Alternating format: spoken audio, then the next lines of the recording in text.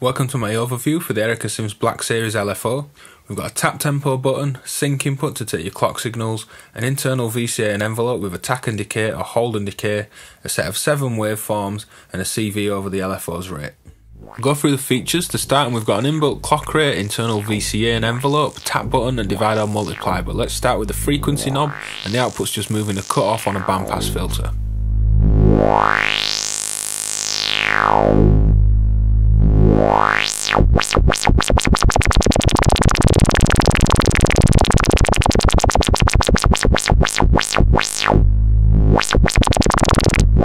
So as well as the frequency, there's a divide or multiply with times 1 in the middle, times by 2, and times by 4. We've got divide by 2 to the left, and divide by 4 as well.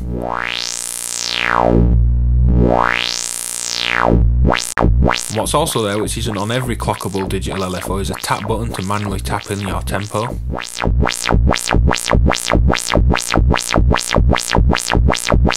So with that in sync to the taps, you can still multiply or divide the rate.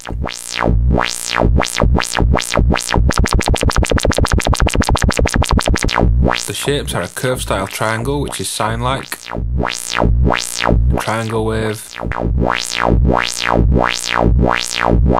ramp wave, falling saw wave, square wave, great envelope style shape which rises and falls like an attack and decay and then holds a sustain before falling again which is like the release of an ADSR. We've then got the random wave which is a sample and hold.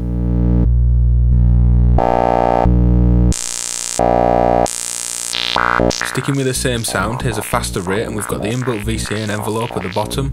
With the attack at 0 and the decay at infinity to the right, the unit works as a standard LFO. With the decay down and no gate present at the gate input, the envelope will then cycle through the attack and decay settings. The LFO passes through an internal VCA with the envelope shape in the depth of that output. So it's not so obvious on a random wave, so let's go to a square wave.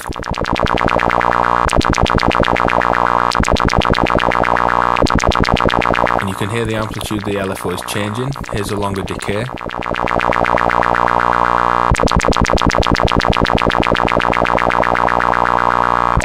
Let's try that with a saw wave and a shorter decay.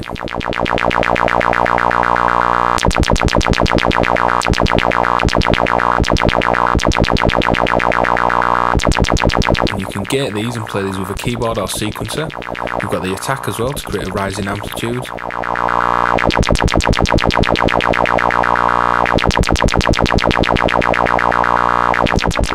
Let's take the attack and turn that into a hold time with this switch.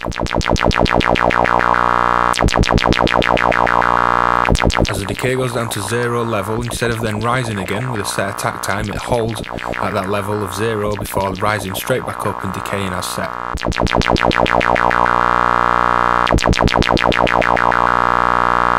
So notice the difference between the hold and attack.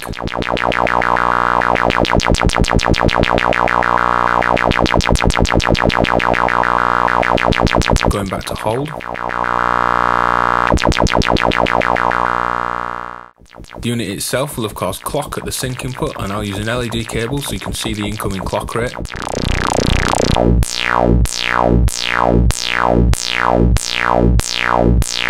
And it reacts quickly to changing clock speeds as well. And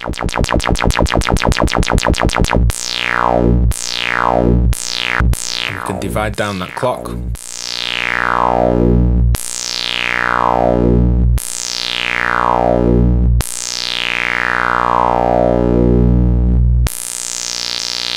we can multiply that as well.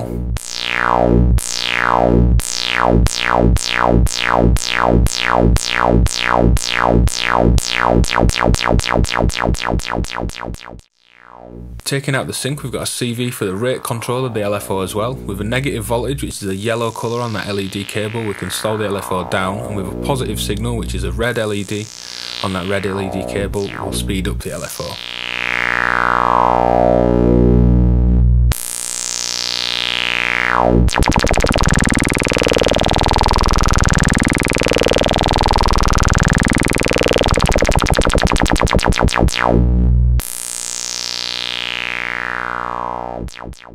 We've got the gate in, which is a gate in for the internal envelope, which cuts out the internal looping when a gate is present.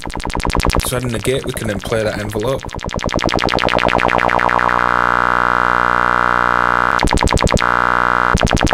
Notice with a short gate, and you can see that gate length with a red LED cable, internal envelope will cut off just like a standard envelope generator, and a longer get held will let that cycle through its envelope fully.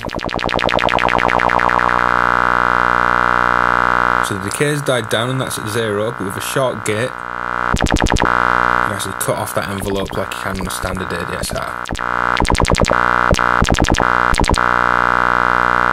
Having that set to hold, the gate will trigger the hold period before the decay.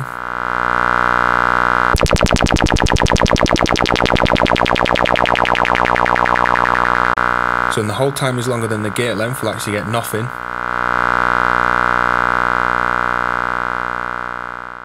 I've got a keyboard here and I'm going to use the pitch and the gate to trigger some vibrato from the Black Series LFO into the FM on my oscillator. At the minute the LFO is just triggering with my gate.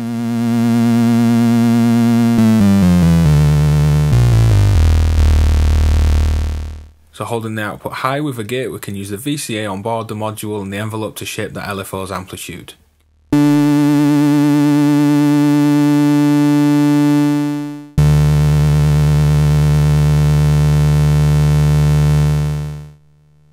Can set that to hold so it comes in later.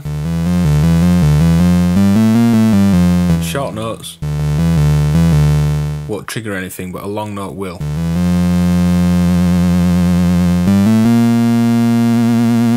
And that's because of the time of the gate coming in and the time of the hold. We can change the hold to an attack so we can fade in that LFO's depth. Still short notes won't quite fade in that amplitude as much because of the long attack time.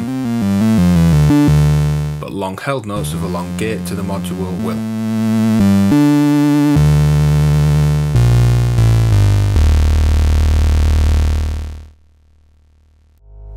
So to finish on, I'll look at using the CV processor alongside the LFO.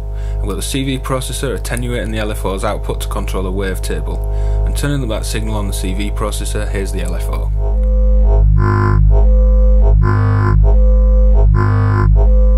CV processor can boost the signal to two times its gain and also invert with negative gain as well. I'll look at using the envelope on board to create new shape, so turning down the decay,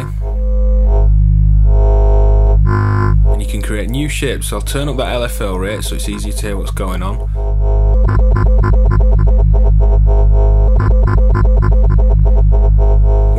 Slow envelope and a slow rate and much closer to those envelope shapes, we can create more unique and interesting shapes.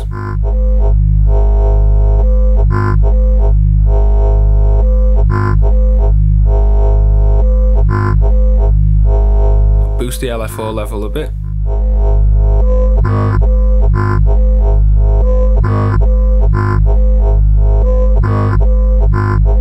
So let's slow this down some more.